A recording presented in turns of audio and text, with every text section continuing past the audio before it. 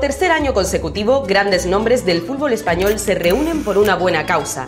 Forman parte de la asociación benéfica GoFood. Todos estos exfutbolistas no dudan ni un segundo en apuntarse a un torneo que les permite disfrutar del golf, su segunda pasión, ayudando a los que más lo necesitan. Nosotros vamos a procurar en la medida que no sea posible pues que más exjugadores puedan intervenir pero que vayan a jugar medianamente bien, ¿eh? tampoco queremos petardos. No, eso es una broma, o sea que cuanto más eh, ex jugadores de fútbol intervengan con nosotros, pues tanto mejor para la causa.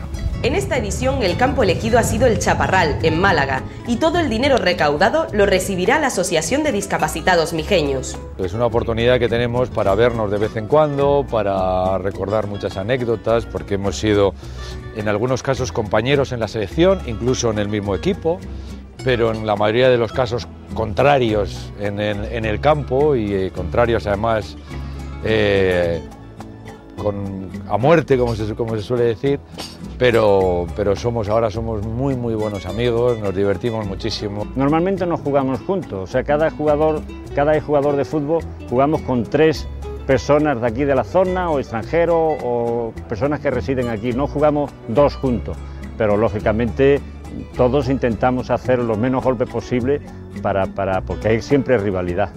Y en un torneo como este, que enfrenta a antiguos jugadores de fútbol españoles y alemanes, este año el tema de conversación no podía ser otro.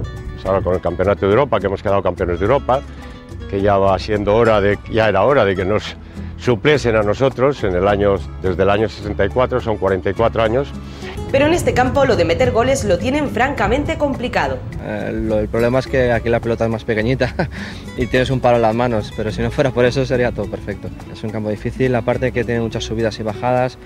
Hoy hace mucho viento también y hay que ser bastante preciso, pero bueno, estamos luchando, intentando no hacer, no hacer mucho ridículo, que es mucho. Y después de luchar duramente contra el campo, llega el momento de comentar la jornada con los antiguos compañeros y de ir preparando el torneo del año que viene.